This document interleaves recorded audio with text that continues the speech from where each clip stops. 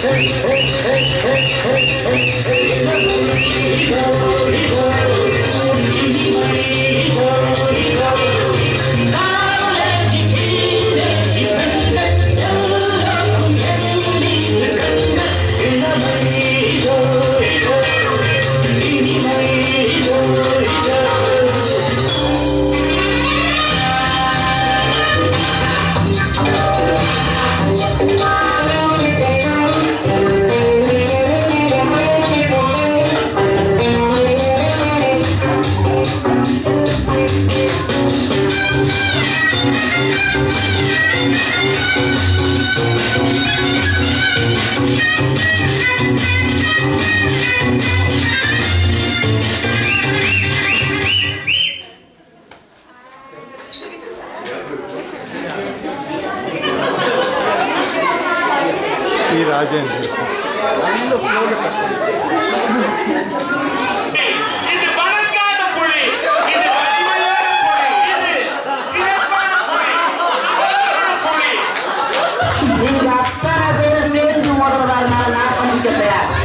ஆதாயம் மத்தி ஆதாயம் மத்தி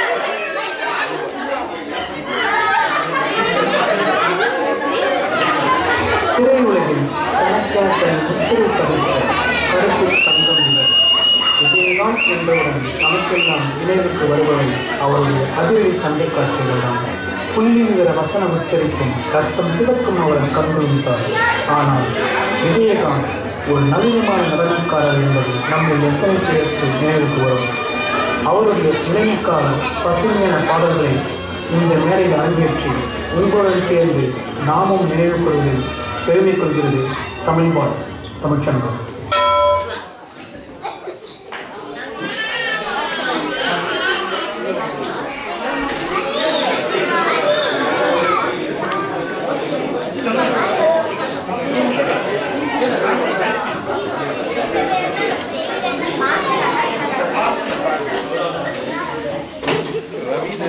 Accident out